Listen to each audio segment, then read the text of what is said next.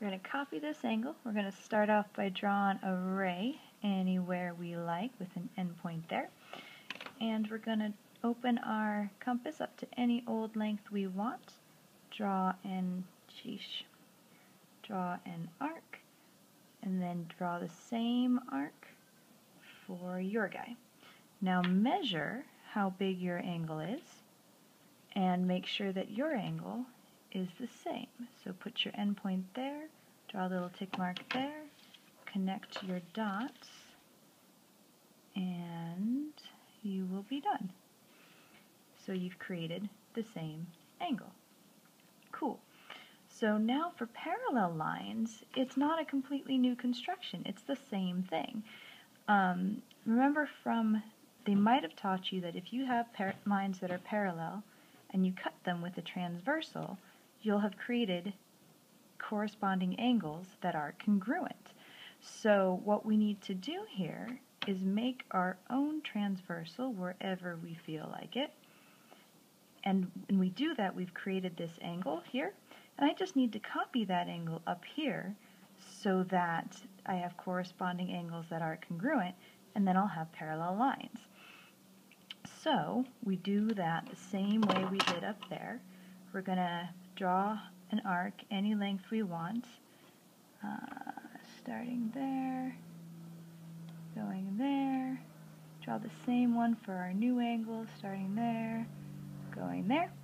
Now measure how big your angle is, open up your compass to that same size, and then make sure your angle is the same size by starting at that endpoint and drawing a little tick mark there.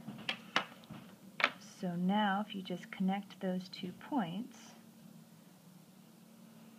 and I'm pretty lousy at this, the bigger your dots are, the more imprecise you're going to be, and the bigger your lead is, the more off you can be.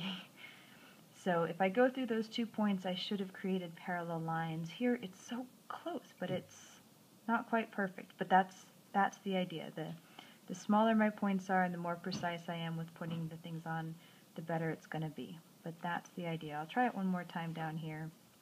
Let's say we have a uh, line and I need to draw, draw the originals in purple. Let's say I have a line and I want to draw another line that's parallel to that going through that point. I'm going to draw myself a transversal anywhere I want. I just need to copy this angle here by drawing an arc any size I want. So being super careful to put the point on there. And careful there. And we're going to do the same thing put the point there. Careful there. And then we're going to open this up so that it's that same length so there to there.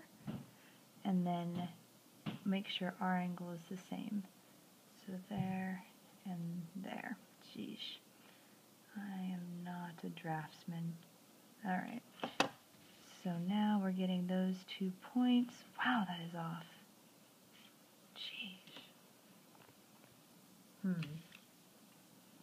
That is like really off. I think my lead is dying. I'm going to try it again.